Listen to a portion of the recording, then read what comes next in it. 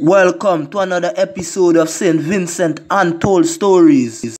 On this episode, we feature the beautiful island of St. Vincent and the Grenadines, known as the Gem of the Antilles. St. Vincent is an island that is located between St. Lucia and Grenada. The population is just over 110,000 people. Our national dish is the fried jackfish, roast breadfruit, and golden apple juice. Our national bird is the Amazona guildingii. Most people call it parrot, but in the Amazon it's called the Amazona guildingii. I'm not trying to be boastful, but in St. Vincent we have the best beaches you'll ever see in your life, both black sand and white sand.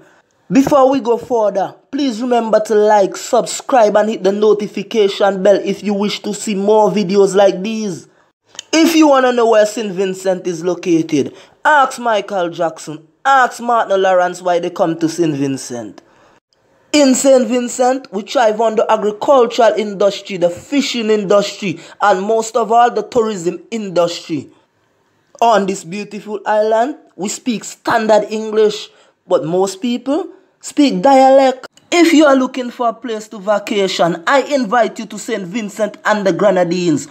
Come, have a trip to the Tobago Cays, where you would have a lobster barbecue with garlic butter, fried rice, and some nice garlic potatoes with the likes of John Claude, Romeo, Carlos, Kojak, and the boys. You can even swim with the turtles.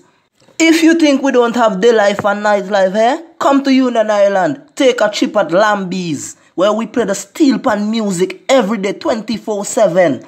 Oh, and I almost forgot we have kite surfing here as well.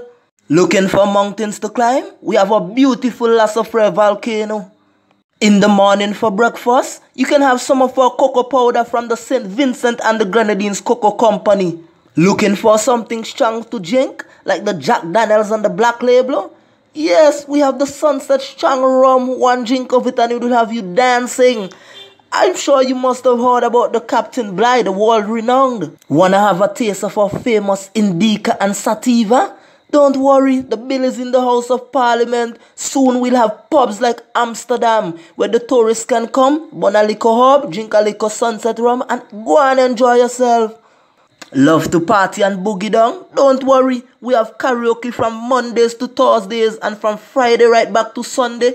We have party from Sandy Bay, Georgetown, Kingston, all over the place. You can enjoy yourself. You can even flying on your private jets. Cause right now we have the International Airport AIA. Don't worry yourself. Don't like to party and just wanna relax in the hot sun and sit on the sand? Come to French Veranda. Come to the Blue Lagoon. Oh, and by the way, Sandals is coming. When you come to St. Vincent, you must feel safe because crime and violence is at its minimal. And plus, the government is giving out prime grants to help youths so they won't go down that road of criminal activity anymore. Have you heard about our famous chichi cakes? Yes, it's some small fish we catch sometimes when rain come and we fry them with flour and curry and hot pepper.